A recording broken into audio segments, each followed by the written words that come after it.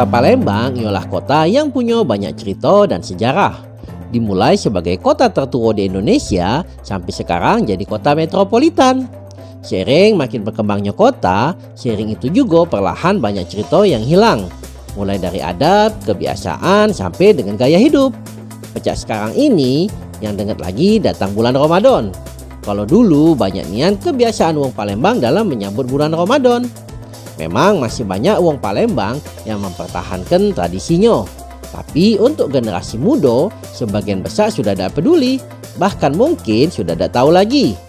Video kali ini Mang Dayat akan mengulas apa cerita uang Palembang Bingen dalam menyambut dan saat bulan Ramadan.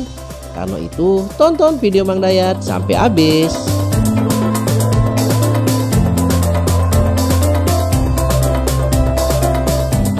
Assalamualaikum warahmatullahi wabarakatuh.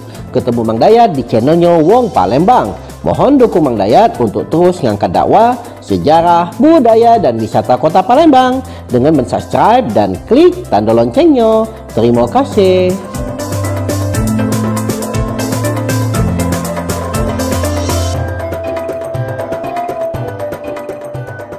Apa kabar Mang Cebice? Salam sedolo dari Mang Dayat. Marhaban ya Ramadan. Sebelumnya dalam menyambut bulan suci Ramadan, Mang Dayat mengucapkan selamat menunaikan ibadah puasa. Mohon maaf lahir dan batin atas segala hilaf dan salah Mang Dayat yang mungkin selama ini dalam penyajian konten ada yang kurang berkenan. Semoga Allah menghapuskan segala dosa kita agar kita bisa menjalankan ibadah puasa dengan khusyuk. Video kali ini Mang Dayat nak ngajak Mang Cebice untuk mengulas cerita-cerita lama yang sekarang mungkin cuma wong-wong tua baik yang masih tahu yaitu tradisi wong Palembang dalam menyambut dan saat bulan Ramadan. Saat ini Mang Dayat sedang bersama sejarawan Palembang yaitu Ustadz Andi Saifuddin.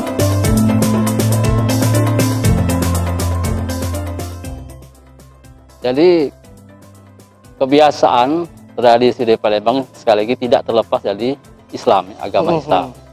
Sebab ada hadis menyatakan man fariha bidukhuli Ramadan haramallahu jasadu ala niran. Barang siapa yang bergembira, senang, Senang menyambut iya, dengan datangnya dengan masuknya bulan suci Ramadan. Iya. Nah, Allah akan haramkan jasadnya dari api neraka. Nah, itu itu kita baru gembira menyambutnya kan? Senang nah, senang. Apalagi kita beribadah di dalamnya. Iya. Sebab di dalam bulan suci Ramadan ini kan eh, segala amalia pahala ditingkatkan. ke? Ya, pahala, pa- sun- pahala sunnah menjadi wajib, Mm-mm. wajib menjadi berlipat ganda. Nah, itu Mm-mm. semakin eh, Makin kasih mulia, ya. sayangnya mulianya ya bulan suci Ramadan. Nah, kita persiapan menyambut bulan bulan suci Ramadan sebetulnya kalau wong wong zaman dulu, zaman Mm. bingen itu sudah jauh-jauh sebelumnya. Bahkan Mm. eh, sejak bulan Rejab itulah Rejab sudah iya bulan tiga bulan ya? iya Rejab Syaban Ramadan tiga Iya. kali jadi makanya wong bingen dulu puasanya juga tiga bulan bersambung jadi puasa Rejab Hmm. Syaban Ramadan tiga bulan dia sekaligus nah itu itu menyambut wong lama dulu ibadatnya. ya. ibadatnya jadi dulu ya. kan sehat-sehat badannya kan Mm-mm. Nah itu. Jadi di dalam ajaran agama juga kan di, di- kita kan diajarkan oleh Rasulullah ada doa kan? Iya. Allahumma barik lana fi Rajabin Mm. wa Sya'ban wa balighna Ramadan. Ya Allah berkahilah kami di dalam bulan Rajab, Mm-mm. kemudian bulan Sya'ban dan sampai kelah kami Ramadan. ke bulan Ramadan. Itu doa kita kan Ramadan. Nah, mudah-mudahan kita menjumpai bulan suci Ramadan dan dapat beribadah di Amin. dalamnya. Jadi itulah persiapan itu Iya. persiapanlah sejauh-jauh hari gitu tuh karena sehingga kalau kita sudah uh, melakukan melakukan persiapan sama itu kan Mm. dalam bulan nisfu misalnya kan ada kan di dalam itu kan Iya. doa-doa kita diijabah ini Syaban kan Mm. nah itu dalam rangkaian menyambut ini juga Ramadan itu kan Mm-mm. mudah-mudahan doa apa dosa kita sudah diampuni sehingga kita pada melaksanakan ibadah puasa ini tidak terlalu berat tidak Iya. karena dosa-dosa kita sudah Iya. diampuni itu persiapan kita Jadi baca lebih khusyuk Ustaz eh. lebih khusyuk Heeh. di awal dulu tadi ada apa namanya tradisi sedekah ruah juga sedekah ruah Sedekah ruah. Ya. Iya iya iya iya. sedekah ruah itu bisa tahlilan haul bisa juga sedekah nasi gemuk Mm. nah nasi gemuk itu tengah-tengahnya pucuk ini dibendam ke telur telur rebus Rebus. Nah, ya. nah nasi gemuk sebagai Gemuk, telur telur dibendam ke telur gembus Iya, telur ayamnya nah udah gembus itu sedekah nasi gemuk biasanya untuk sedekah ruahnya itu kan dihadiahkan anu pahalanya itu untuk arwah almarhum dan almarhumah itu berarti kita menandak oh lagi nak puasa gitu nih wong lah sedekah ruah kan Iya. Nah, ada juga yang Emang ganti-gantian be wong ini sedekah. iya kadang se- setiap hari itu ada baik, Ada bae, iya. Ngad- ngadokeun haul dan sebagainya kan nah kemudian itu kemudian baru kita eh, masuk bulan suci Ramadan Mm-mm. masuklah nanti ya anak-anak juga ikut kan anak-anak itu kan ada lagi yang kadang tuh merasa wong tua ini jadi jengkel kadang anak-anak mak- nabu petasan nabu pecot nabu Oh, iya, pecot, oh Pecot. Malah dia ah, sibuk kita nak sholat, nak semayang, dia sibuk macam anu petasan buat budak-budak budak Nah, kecil ni kan. kan memang setiap, sampai sekarang Iya. kalau nak bulan puasa pasti banyak jual pecel. Oh, pecot. Iya, iya. Tak ada cerita Kali- aja zaman dulu. Itu kali ungkapan rasa kegembiraan tadi lah itu. Bisa jadi kayak Ya, itu. eh. begitu kan. Kegembiraan. Malah di samping pecon dulu kami anak, anak aku masih juga nemu nih tuh Mang Dayat muat meriam bolu. Meriam dari bambu, meriam bambu. Oh, iya, iya, nah, iya, iya. itu juga mainan mainan kami lagi kecil itu. Hmm. Di bulan puasa itu. Oh, muat meriam bolu, Mainnya tuh pas habis isya, apa habis maghrib pula? Habis sisa, kita habis habis buku tuh nah, sudah lah sudah galau buku. Kalau Hmm. sudah sholat, kita main itu Mm-mm. meriam bolu. Oh, oh, oh, Besar bunyinya itu. bunyinya besar mau karbit kan itu kan oh itu itu masih masih nemu nih kalau anak itu Tik lagi masih sekarang ya. sekarang ngerti ya, ya Heeh, itu tik lagi. main medium bulu ganti petasan tadi kan sama dia bunyi kuat tuh Iya, iya. Oh, kalau tidak kata petasan medium bulu main itu oh Cuman dulu tuh Ah. ami berkumpul aja budak kampung tuh ya. Karena nak dibuat nian itu tuh kan. ah, dibuatnya Nak ada yang pacak. iya bulu masih banyak dulu bambu masih banyak iya Mm-mm. nah, itu, itu kan untuk lebih memeriahkan Iya. kan ada lagi dari si kita di bulan Ramadan Cik, Mang Dajat ya Oh. nangi ke sahur Melok juga. Ah, nangis tahu ya. Pernah melok juga, Ustaz? Pernah melok, makin terbangun. Bocak ngagak pengantin no. Oh. Berzikir sarofal anam. Ah, dengan rambut terbangan itu itu mem- membangunkan orang sahur itu. Nah. Bagi dari pukul 2 lah sampai lah nak. Oh lah, Ah, pagi iya, pukul 2 pukul 3 tuh. Lah. Jam 2 berkumpulnya, jam 2 Iya, mulai mulai, kumpul, kumpul berarti jam 3 tuh lah mulai kita nabu, Habis- bertabu. habis Nabu tuh sah- Sahur, sahurnya di mana? sahur, sahur, balik. Balik. Balik. Ya. balik. Oh, bukan sahur sama-sama di situ. Cak Haji budak balik. ni sahur on the road. Ya, dah. Nah, itu. Oh. Nagih sahur gitu. Ya, uang berapa lah biasanya? Rombongan, rombongan itu perkumpulan paling wong belasan dah. Mm-mm. Yang yang galak be, ya, biasanya kalau perkumpulan Saropal Anam itu biasa zaman itu galak kalau perkumpulan. Jadi kan setiap kampung ini kan ada perkumpulan pelajar Saropal Anam kan, PPSA namanya kan dengan terbangannya. Nah biasa setiap kampung itu ada itu. Mm-mm. Wong- Galak dia untuk menangikan wong sahur itu kan. Mm-mm. Berarti kalau memang sahur anda benar dah ni, ya, Mm, ni iya. bukan asal bunyi tak buka. Nah, tapi cak ngarak pengantin. Wow, seru juga. Eh. Dengan kita bersalawat kan, nah, bersalawat. Apa lagi Ustaz pengalaman Ustaz yang zaman-zaman bingin? ya itulah yang apa namanya Yang terkenang. yang, yang ya nah kalau nah Hmm. sudah tuh di zaman zaman aba-aba ya ya kita bingin Ya. Ki- kalau aku tak nemoni lagi itu itu itu nunggu malam itu kodak nah malam itu kodak itu dengan mang- pasang panglong lampu Ranglong itu. lilin Oh, yang enggak di depan-depan rumah. rumah ya nah itu. Apa filosofinya tuh?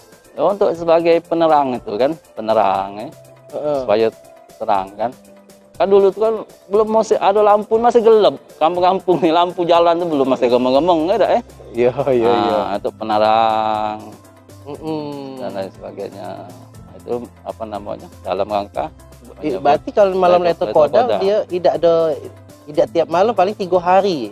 malam lekuran Malam itu 23 kan? ya malam lekuran tuh mulai yang ganjil Iya, 23 25 ya. Mbak seleko tiga leko lima Hmm. leko tujuh leko Oh, ya dia genep Sembilan tidak, itu, tidak dipasang, cuma ganjil be. Gan- ganjil biasanya nah, Mm. lekuran Oh, masih ada tak Ustaz foto-fotonya itu? nah, itu Hati lagi. langka itu Iya. Ada lagi dah Ustaz, apa lagi yang terkenang kira Ustaz? Zaman-zaman dingin tuh dalam Ramadan ini. Yang kata Ustaz apa eh, pasar mambo tuh? Oh iya, pasar Mambo itu pasar malam. Heeh. Adanya pasar pasar pasar malam. walaupun itu juga tidak nak bulan puasanya sebetulnya di Mm-mm. luar bulan puasa juga ada itu itu namanya pasar mambu di, di, di, Ada di mana? di daerah 16 ini? iya situ nah 16. Iya. eh. Ya, Tengkuru eh ah, Tengkuru. Oh, Tengkuru. Ya, itu pasar malam namanya Mm, dia tuh Mambu. kalau bulan puasa sampai jam berapa? Bukanya kurang lebih. Tapi lalu tidak? tidak puloknya nak ya bukan nak pergi nak sahur kan Heeh. nah pergi nak sahur jadi tak perlu nak sampai malamnya Berarti kita jam 9, jam 10 selesai dia tuh ya. ya. Itu ya.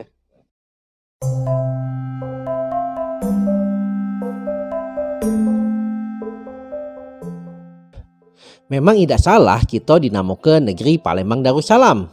Kalau kita dengar cerita Ustadz Andi tadi, ketaatan wong Palembang bingen memang luar biasa. Kalau zaman kakek buyut kita cak itu, cak manolah kira-kira.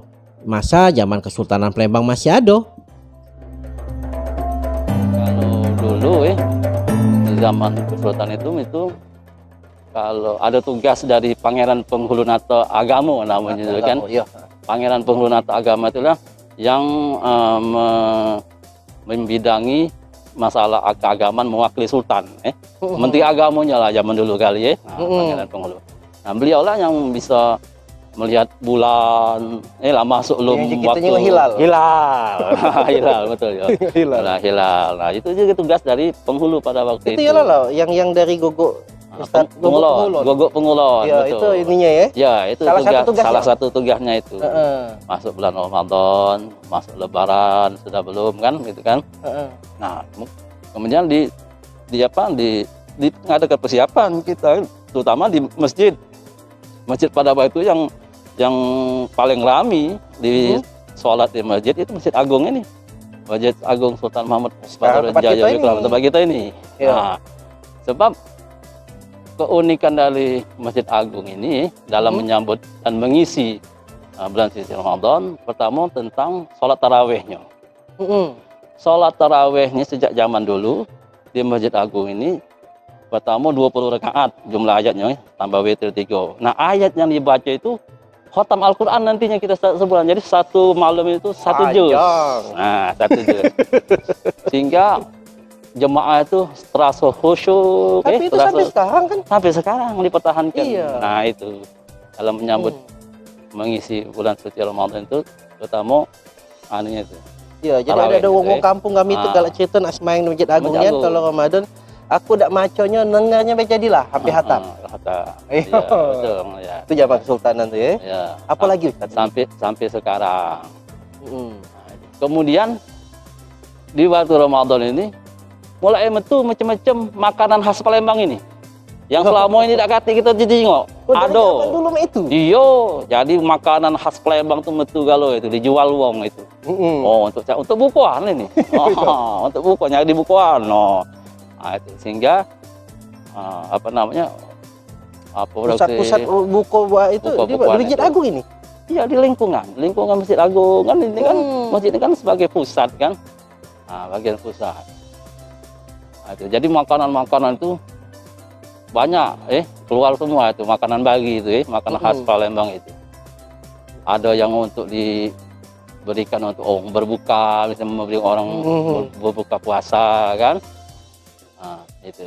Wong di Masjid Agungnya dewek banyak zaman dari itu buku puasanya di sini. Iya, Banyak juga. banyak banyaknya. Makanya di Masjid Agung ini dulu ada untuk berbuka puasanya ada untuk memberi orang berbuka puasa di Masjid Agung untuk takjil gitu ya ada Hmm. itu, itu. Memang dari dari dulu sudah ada itu. Iya. Dari dulu.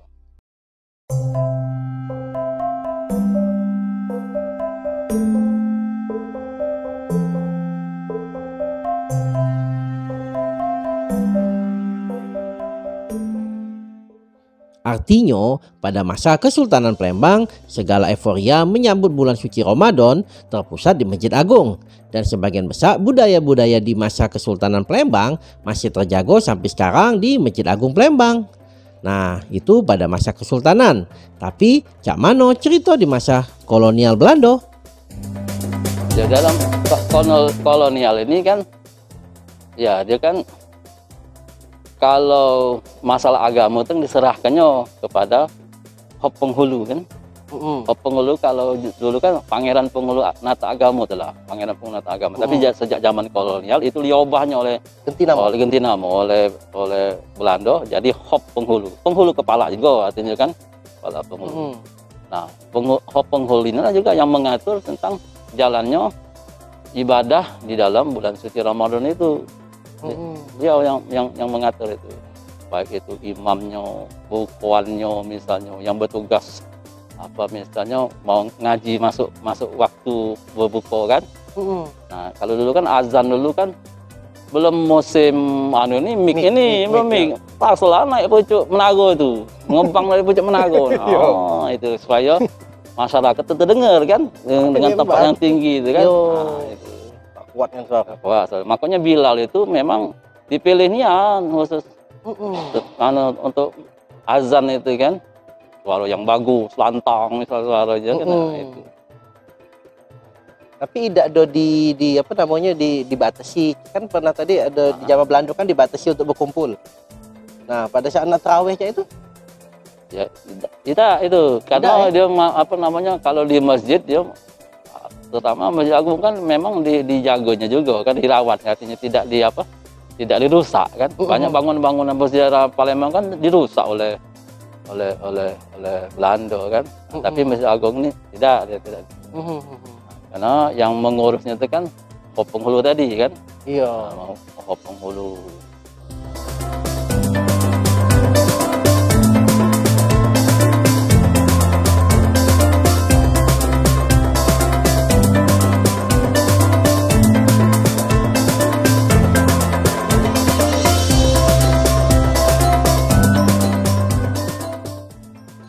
Demikianlah video Mang Dayat mengenai Palembang menyambut Ramadan pada masa lalu.